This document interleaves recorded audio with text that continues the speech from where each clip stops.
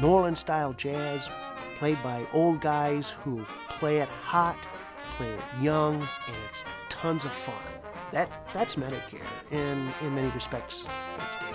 He was Medicare 7, 8, or 9, really, in every way.